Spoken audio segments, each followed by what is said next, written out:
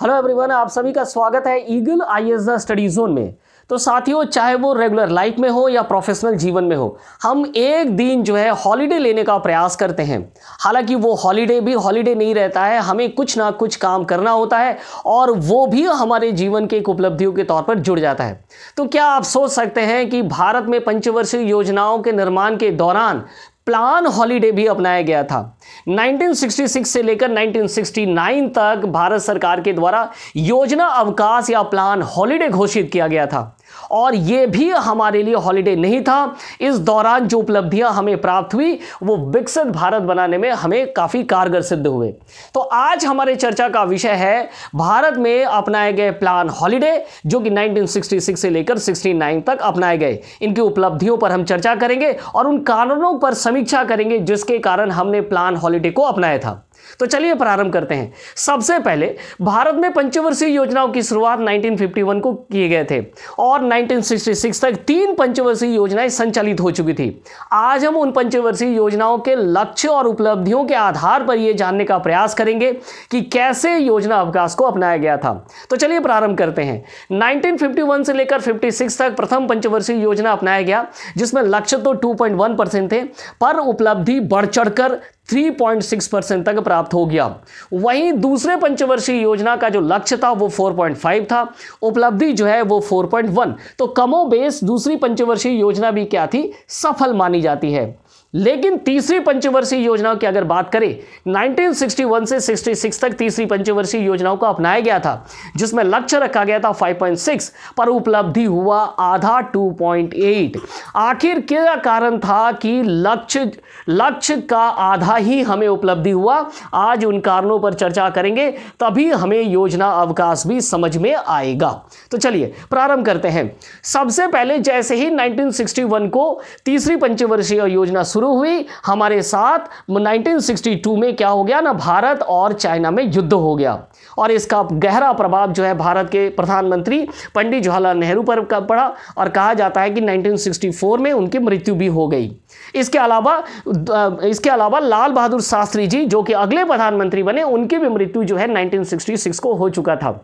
इसके साथ साथ 1965 में भारत और पाकिस्तान के मध्य भी युद्ध हुआ। तो ये चार बड़े फैक्टर है जिन्होंने भारत को झंझोर दिया था। साथ में प्रकृति ने भी हमारे साथ धोखा कर दिया। 1965-66 को भीषण सूखा और अकाल पड़ा और इसका परिणाम यह था कि हमारे जो खाद्यान्नों का बफर स्टॉक था वो हिल गया और बफर स्टॉक में कमी आने लगे। तो ये वो कारण थे जिन्होंने भारत की स्थिति को हिला करके रख दिया था 1961 से लेकर 66 तक। अब आगे इसका प्रभाव जो है इंटरनेशनल स्थिति पर पड़ा। अर्थात हमारी वैदेशिक नीति पर दिखने लगा।